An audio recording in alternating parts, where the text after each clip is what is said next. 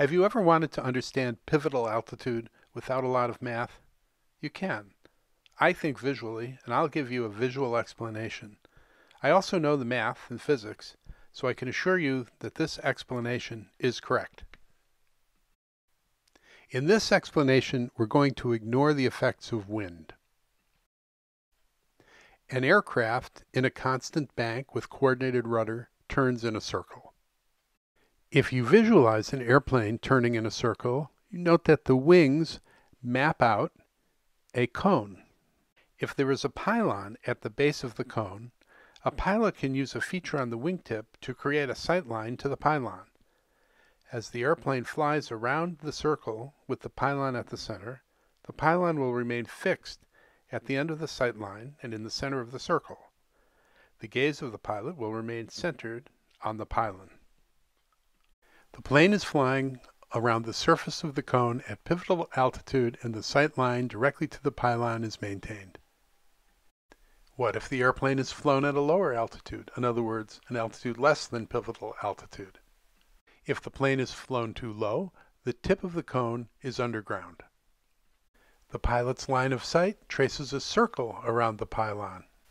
In other words, the gaze point moves around the pylon in a circle.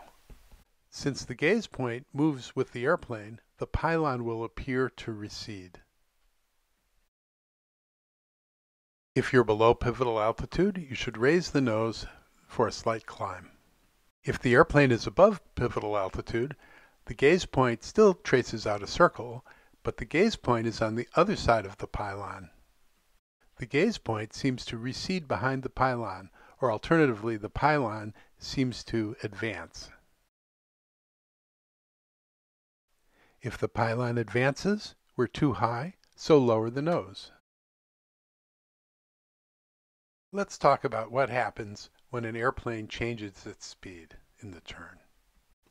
I want to be clear here that when we talk about a faster and slower airplane, we're talking about the same airplane, your airplane, simply flown at a faster or slower airspeed. If we have two identical airplanes with the same bank, but one is flying faster, the faster airplane will have a greater radius of turn. Let's look at why this is the case. If the two airplanes are in level flight and the weight is the same, the vertical component of lift must be the same for both airplanes. But wait, a faster airplane should be generating more lift. So in order to fly level, the faster airplane must use a lower angle of attack. If the lift and the bank are the same for the two airplanes, the horizontal component of lift must be the same for the two airplanes. Now, remember that the horizontal component of lift is what causes the plane to turn. We say that it has a centripetal acceleration, which means center seeking. A higher horizontal component of lift means a tighter turn, in other words, a shorter radius of turn. Owing to the inverse relationship between velocity and radius of turn, a given horizontal component of lift can either give us a short radius of turn at a low velocity or a large radius of turn at a high velocity. In other words, the lower velocity airplane with the lower radius of turn has the same centripetal acceleration as the higher velocity plane with the higher radius of turn. That is provided that the horizontal component of lift is the same for both airplanes.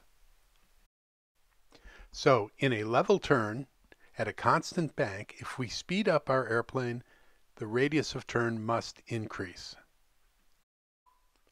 So the faster airplane flies a higher radius of turn and by simple geometry must fly at a higher altitude to be at the pivotal altitude. And that's all there is.